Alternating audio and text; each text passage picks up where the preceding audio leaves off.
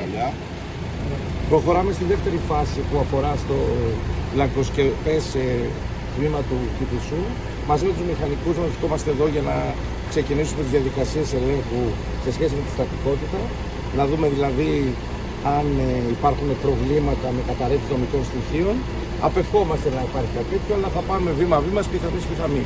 Ξέρετε, είναι ένα πάρα πολύ δύσκολο έργο, το οποίο έχει πάρα πολλά προβλήματα, έχει απουσία αερισμού, έχει έλλειψη φωτισμού, έχει ένα βουρκώδε σε υπόστομα που μας δημιουργεί πολλά προβλήματα και παραμένουμε και όμοιροι των καιρικών συνθηκών. Σε κάθε περίπτωση κάνουμε το καλύτερο δυνατό. Θέλουμε να προχωρήσουμε άμεσα και ο Κυφισό είναι μόνο η αρχή. Θα προχωρήσουμε και με την Πιτροδάφνη, θα προχωρήσουμε και με τον Μιλισσό. Όπου χρειαστεί να παρέμβουμε, θα παρέμβουμε. Ε, δουλεύουμε πυροκοδός, ε, δουλεύουμε συγκροτημένα, οργανωμένα, παρά τα προβλήματα που υπάρχουν, με τα γνωστά ζητήματα των αρμοδιοτήτων, της έλλειψης ε, χρηματοδότησης.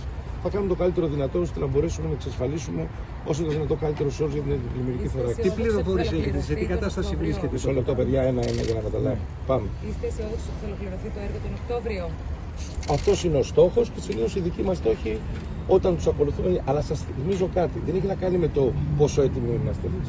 Εμείς είμαστε έτοιμοι και έχουμε και εναλλακτικά σενάρια. Το ζήτημα είναι και οι καιρικέ συνθήκε.